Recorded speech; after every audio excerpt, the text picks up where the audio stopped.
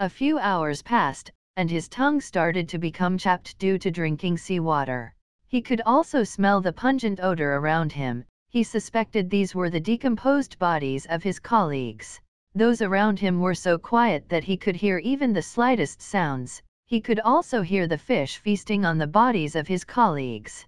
Meanwhile, the dive support vessel that was taken by their company has arrived, this is a professional deep-sea salvage company, they were paid to retrieve the bodies of their crew members, they are professional deep divers, they have enough experience and complete with equipment so they can go to the 100 feet deep sea. Their team is made up of six professional deep sea divers. They know that the retrieval operation they will do will not be easy, because the ship is upside down, and the soil and mud have been submerged, so this is caused by the turbidity of the water at the bottom, so they know that it would be difficult for them to see the bottom. They divided the six divers into two teams, three of them in a team, Dive Team 1 was on the other side when the ship went. Dive Team 2 was Nico van Heerden, Andre Erasmus, and Daryl Oosthuizen.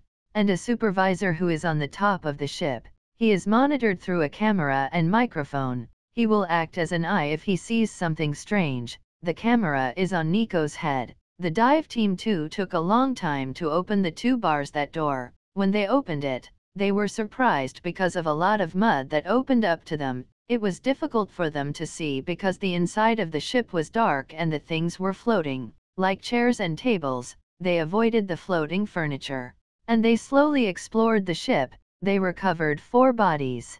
Meanwhile, Nico entered the door to the main deck, this entrance was small so he also had a little trouble while he was swimming. Someone suddenly grabbed him, and Nico was terrified because he thought a big fish passed him, but he ignored it and went straight to swimming because the divers thought that everyone on board the ship was already dead, so it didn't even occur to Nico that the person holding him was a living person.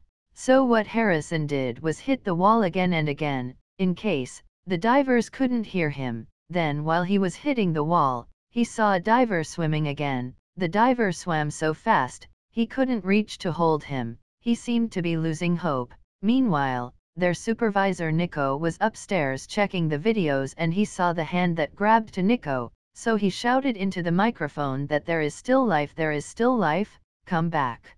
So they went back where they went and here they saw Harrison, they were shocked because Harrison was alive, because in this deep sea, no one can live without diving equipment, even the divers only go as deep as possible of them is 130 feet and they cannot last more than 20 minutes at 100 feet.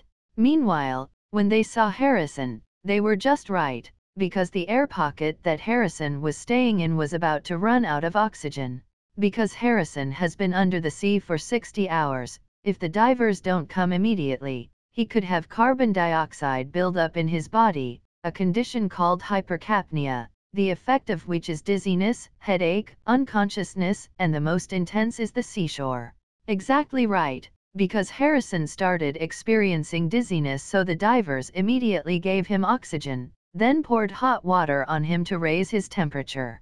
Meanwhile, the medical experts are ready upstairs. Case there is one more problem that Harrison will face, and this is decompression sickness. What is decompression sickness? When divers go to the deepest part of the sea, the pressure changes, and the nitrogen goes to the tissues.